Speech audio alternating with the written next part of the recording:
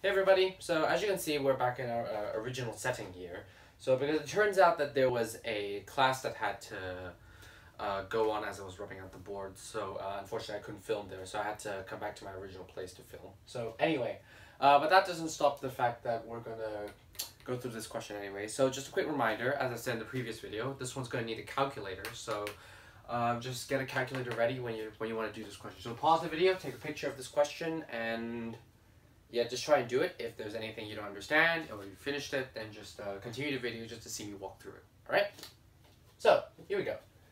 0.1595 grams of menthol undergoes complete combustion. Okay, one more thing about menthol. Um, see, IB likes to take these chemicals that you are likely unfamiliar with and sort of ask and sort of ask questions about it. So, um, but even if they're unfamiliar to you, it doesn't really matter in a sense because they're really seeing how you are able to apply your own chemistry knowledge to understand an unknown compound like that is unknown to you. Okay, so uh, in the case we don't actually need to know the uh, the molecular formula of menthol. We don't need to know what it's actually used for, but then um, but then like the kinds of but the kinds of data analysis question might reveal its um, its actual compositions, and then from there you can kind of deduce its um, its kind of uses. But uh, okay, I think I'm going a bit too off topic. Back to the question. So, it undergoes complete combustion to form zero point one eight four zero grams of water. Okay, notice. Uh, oh, one more thing. Uh, the water formed here is a gas, not a liquid. Okay, so actually I think I should specify that. Gas. Okay and 0.4490 grams of carbon dioxide. Yeah, uh, don't forget the states. Okay, so find out menthol's empirical formula. So uh, I actually forgot to write this down actually. So menthol, okay, let, wait, menthol is comprised of carbon, hydrogen, and oxygen. Okay, so uh, in this in this sense, that's CXHY uh, O, uh, let's call alpha because Z looks like a 2. So plus O2, thus we would have XCO2 plus Y over 2H2O. Okay, so uh, these const so these X, Y, and alpha, these are basically just constants. They don't really mean much uh, when you're actually making the calculations, but it's just to draw the, just to write out the equation just to be sure what we're doing. Okay, so so firstly, um, in order to calculate the empirical formula by uh, given these kinds of data, what we can do is we can work our way backwards. We can determine the number of moles of products and then to find the empirical formula of the reactant. So, so uh, let me just give you an example. Let's start with water, okay? So first of all, we know that the molar mass of water, MH2O, is 18.02 grams per mole. Check the periodic table. And we also know the mass here, of water that is evaporated, which is 0.1840 grams, okay? So if we just use the relationship from beginning, uh, the mass of a substance over its molar mass will be equal to the number of moles it has. So 0.1840 grams over 18.02 grams per mole, okay? So this would be equal to 0.0102 moles, okay? So this is for, so this is for water right here, okay? Now let's do the same for carbon dioxide. So the molar mass of carbon dioxide, uh, wait, let me just write that clearly, uh, CO2, right? This is equal to 44.01 grams per mole. Once again, uh, you could just check the periodic table for that uh, molar mass value, okay? And then we also know the mass that is um, produced, which is 0, 0, 0 0.4490 grams. So once again, using that relationship, we would go 0 0.4490 grams over 44.01 grams per mole. And the number of moles we would have here is also 0.0102 moles. Oh, and just uh, just one more thing, actually. Uh, notice these two values are actually um, different values, okay? Because you actually have to go out to the fifth decimal point to actually see they're different. But um, see, this is why it's always great to use like use the answer function on your calculators when doing these questions because if you ever end up with an answer with these answers that gets that becomes similar then uh, you kind of run into a problem there okay so just uh, just make sure you use the actual answers on your calculators but just write it into three sig fig when you actually write down your answer that's fine okay anyway so now we need to consider a few things. So let's, okay, so let's start with carbon dioxide because this is easier to grasp, okay? So if we have 0 0.0102 moles of carbon dioxide, then that means we would have um, 0.0102 moles of carbon, okay? Because in each molecule of carbon dioxide, there's only one carbon atom. And thus, there's only one carbon atom per molecule of carbon dioxide, and thus we have this many moles of carbon dioxide, and that means there is also this many moles of carbon, okay? So in a way we can say that the number of moles of carbon is equal to 0.0102 moles, okay? So, so, we, so we've done that for carbon already, because carbon's a part of the, uh, is a part of menthol, okay? So let's do the same for hydrogen. In water molecule, there are two molecule, there are two atoms of hydrogen. Since we have 0.0102 moles of water molecules, so we take 0.0102 moles and multiply by, by 2, two hydrogen atoms. And thus, the number of moles of hydrogen we would have is double this value. That thus would be equal to 0.0204 moles. Okay, so, and with that, we determine the number of moles of hydrogen, we also determine the number of moles of carbon, and thus we can begin to construct our ratio, okay? So our ratio here would be, actually I'm just going to write this a little further down, 0 0.0204, that's hydrogen, to carbon, to another value, okay? So this, this value of moles is going to be the one for oxygen. So now, yes, you might be wondering, why didn't we actually use oxygen earlier on just to calculate this, okay? Because the reason here is, because in complete combustion, you're actually burning a an organic compound in oxygen, in excess oxygen conditions. So it doesn't really make much sense to actually calculate the oxygen from these compounds just on its own, because there's excess being put into these compounds. So what we can do is, we can actually use this value up, up here, because we have actually haven't used it, because there's 0.1595 grams of menthol Okay, so how we can use this? So, if you think about it, in 0.1595 grams of menthol, a proportion of that mass is going to belong to carbon, and a proportion of that mass is going to belong to hydrogen, and the remaining proportion is going to belong to oxygen.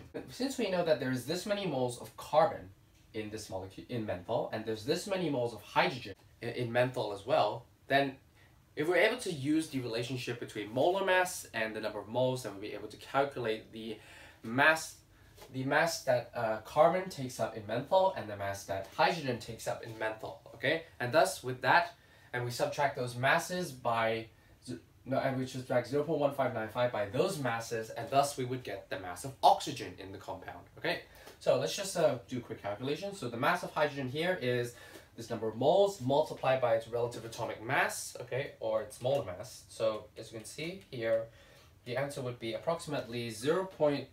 0206 grams, okay? And for carbon, so it's this number of moles multiplied by 12.01, the molar mass of carbon, okay? And thus we would have 0.123 grams, okay?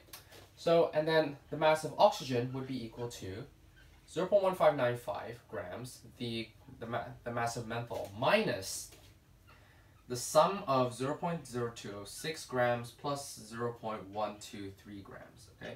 And thus the mass of oxygen here would be equal to, so let me just see what I got, okay, 0.0163 grams, okay? So this is the mass of oxygen.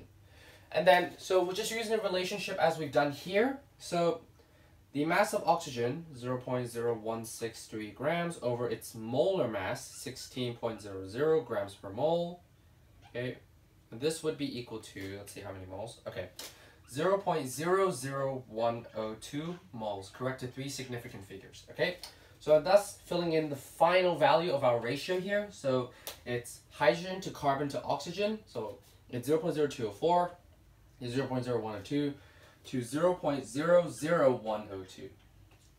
So in this case, obviously 0 0.0102 is the smallest value of the ratio. So we would divide all sides of this by this value, okay? So we just divide it, we would have 20 to 10 to 1, okay?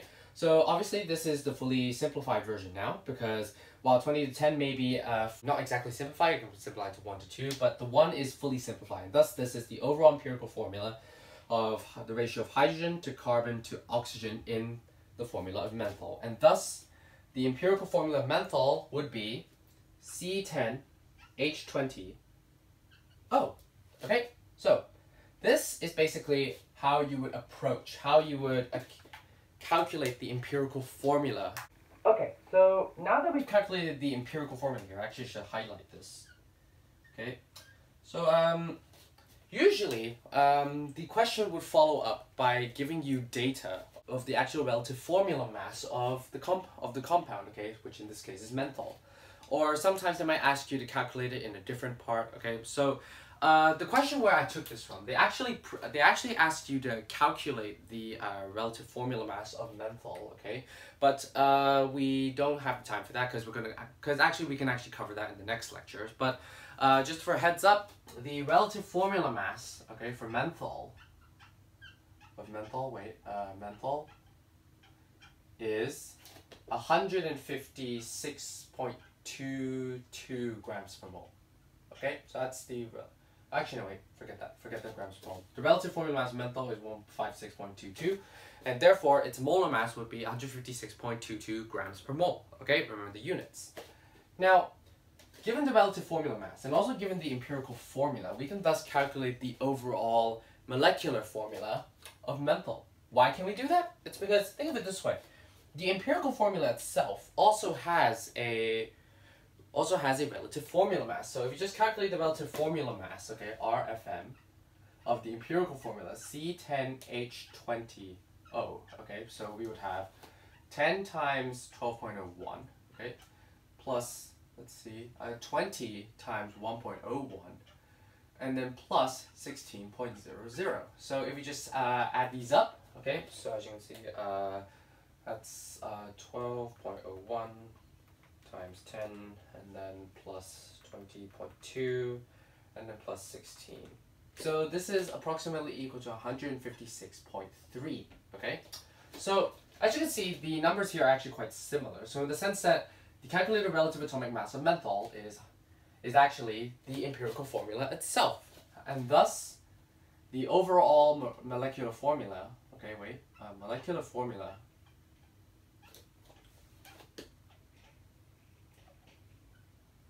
of menthol is C10H20O.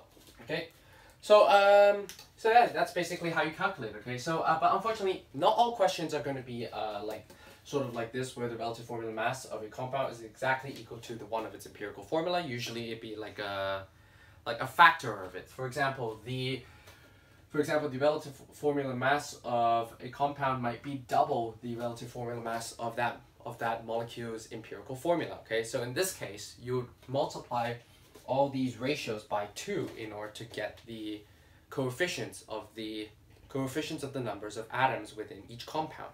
So with the completion of that, we're done, basically. We're done with applying mole calculations to more complex areas of quantitative chemistry. Now, there is one more little thing that we have to go through before we move on to the next unit, but with this complete, that's basically the bulk of the work done. So in the next video, we're going to be using, we're going to be learning a little bit more about the gas law, specifically the equation PV equals nRT. So uh, if you take physics, you would probably know what that is, but I would still encourage you to watch it because just to give you a recap, okay? So as for those who don't take physics, I strongly recommend you to watch the next video on, on the gas laws because if you don't, then you're likely to not do good in the exam because the gas laws are also quite popular in the um, I, in the IB syllabus of chemistry.